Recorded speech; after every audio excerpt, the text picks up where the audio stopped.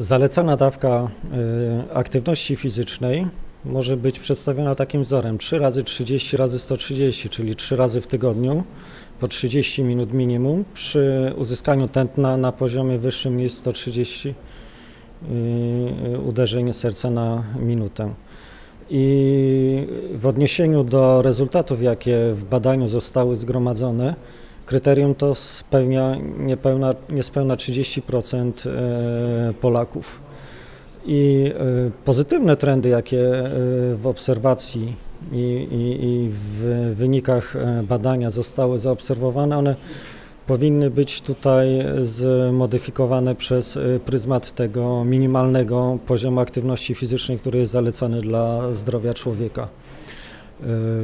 Nie jest źle, z aktywnością fizyczną Polaków, natomiast mamy przed sobą szereg zadań, które powinny skutkować e, zwiększeniem aktywności fizycznej, zwłaszcza w starszych grupach e, społeczeństwa. Wyniki badań europejskich e, wskazują na to, iż najbardziej aktywną fizycznie populacją w Europie są mieszkańcy krajów skandynawskich.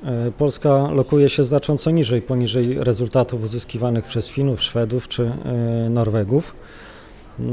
Natomiast w, co dziwne, lepiej wypadamy w relacji do aktywności fizycznej, jaką notują Portugal, Portugalczycy, Hiszpanie, Włosi czy Grecy. Jest to o tyle dziwne, że tych krajach warunki do podejmowania aktywności fizycznej są znacząco lepsze niż u nas. Na praktycznie bez żadnych ograniczeń można uprawiać aktywność fizyczną e, przez cały rok na świeżym powietrzu.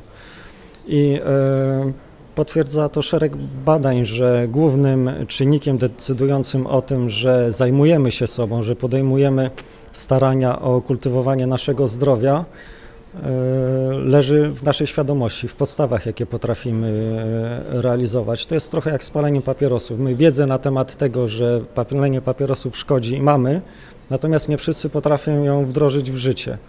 I tutaj też wiedzę na temat tego, że aktywność fizyczna przynosi korzyści, pozwala człowiekowi y, przez długie lata życia zachowywać samodzielność, y, czerpać radość z życia, lepiej funkcjonować w życiu we wszystkich jego sferach, nie do końca jest przekładane na troskę i starania. To jest kwestia chyba wychowania, tego co y, w najmłodszych latach życia potrafimy zaszczepić w osobowości naszych dzieci. Jeżeli tego nie będzie, nie będzie efektywnej pracy wychowawczej nauczycieli wychowania fizycznego, no to będziemy mieli problemy z poprawą e, tego stanu, który obserwujemy w tej chwili. Nie jest źle, to, to trzeba powiedzieć, że te wskaźniki one się poprawiają i rokują na e, przyszłość. Natomiast e, musi być lepiej. To nie jest tak, że może być lepiej. Musimy podjąć starania o to, by społeczeństwo polskie było lepsze, zdrowsze, lepiej funkcjonujące.